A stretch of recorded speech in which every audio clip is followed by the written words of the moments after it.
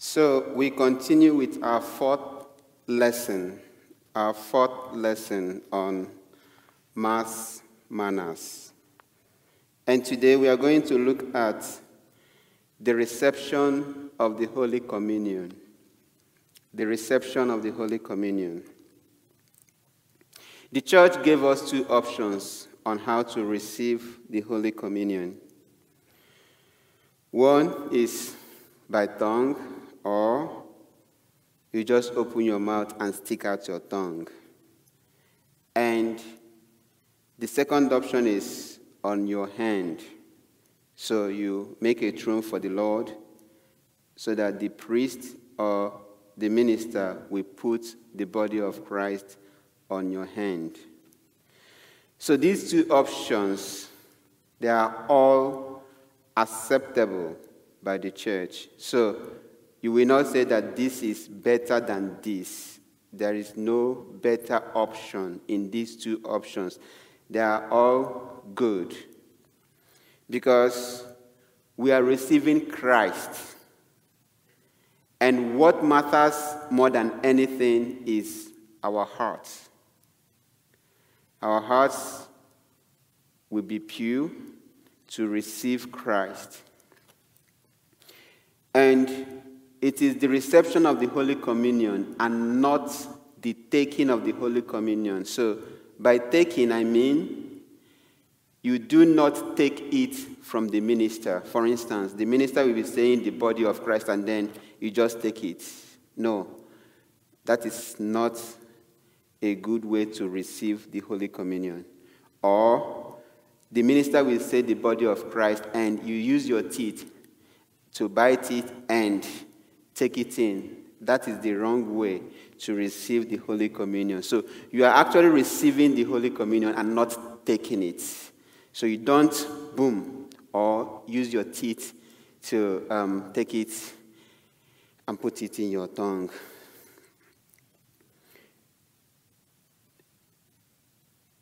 When we are talking about the preparation of Mass, we made mention of our spiritual preparation. So we have to prepare ourselves spiritually and also physically. And part of the physical preparation is that we have to make sure that our hands are clean. Like it has to be neat, it has to be clean.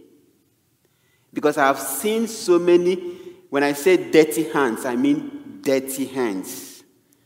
Disgusting. And I was like, oh my goodness, do you really know what you want to receive with this hand? Okay, now, your hand does not determine your heart. I agree with that. Your hand does not determine your heart. So these are two different things. But then, how would you receive the body of Christ on a dirty hand but with a pure heart? So the two of them should be clean. That's my point. So also with our tongue. We should clean our tongues so that we don't receive Christ on a dirty tongue.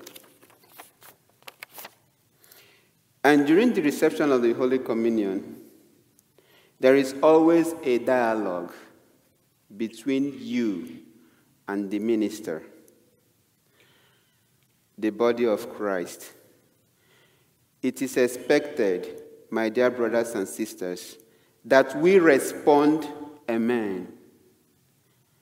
It is expected that we respond, Amen. It is very important that we respond, Amen. It is a word, short, simple, but it is loaded with meaning. It is loaded with meaning. It means, I believe. It means, truly, I accept that this is the body of Christ. And so when we come to receive the Holy Communion, and the minister says, the body of Christ, if we do not respond, Amen, two things will be there. One, the minister may be wondering if this person is a Catholic. And if this person is a Catholic, the minister will be wondering, probably, he is a non practicing Catholic. So probably it has been a long time he or she came to Mass. Or the minister will be wondering, does this person believe that this is truly the body of Christ? So these are the two things that the minister will be wondering. I do wonder that, especially here. Not in our church, I mean, but partly in our church. Moving into the United States, you know, I understand that people do not respond. I was like wondering why.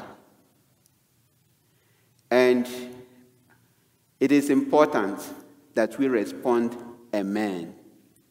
And it is not amen, and then the priest will give it to you or the minister will give it to you. You will follow it up with thank you. No, don't thank anybody. Don't.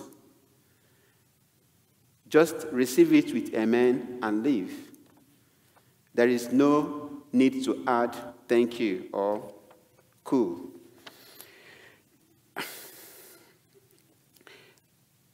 So that dialogue is very important, as I said. It is affirming our belief that this is the body, blood, soul, and divinity of our Lord Jesus Christ. By saying amen, we are accepting and affirming that this is truly the body and blood, soul, and divinity of our Lord Jesus Christ. And again, there has been this argument should I kneel down to receive Holy Communion? Should I stand up to receive Holy Communion? Should I prostrate to receive Holy Communion? It doesn't really matter. If you are comfortable kneeling down, you kneel. If you are comfortable standing up, you stand. Fine.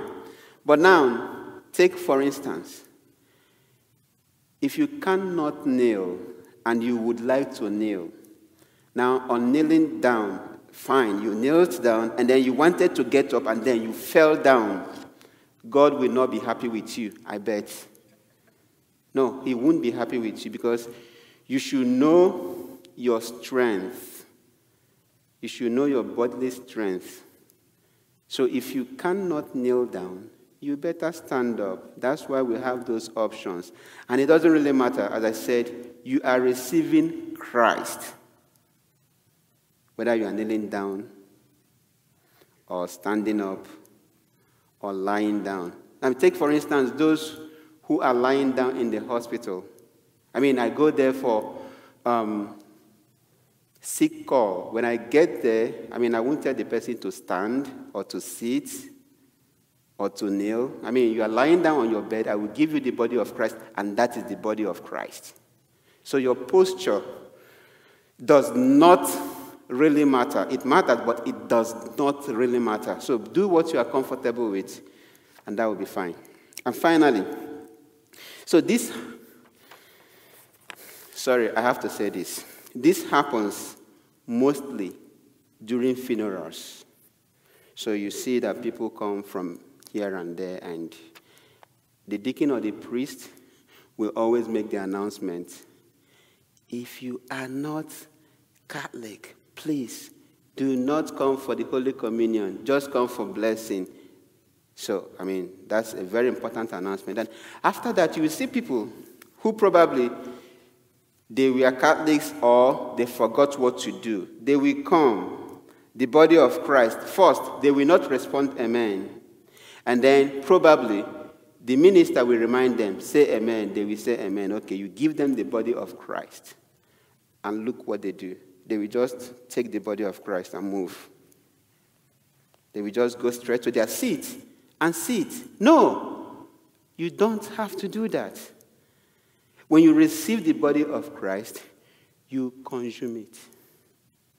Just consume it. There is no need for you to walk into your pew or you sit down before you consume it. No, when you receive it, you consume it. So let's just um, look into that. And I know, I know that those who are here, you are doing the right thing. I know. so please, let those who are not doing the right thing learn the right thing from you. So if we get it right, everybody in our community, everybody in the Treasure Valley, we get it right. And everybody in the world, we get it right. May God bless you, keep you safe, and protect you. In the name of the Father, and of the Son, and of the Holy Spirit. Amen.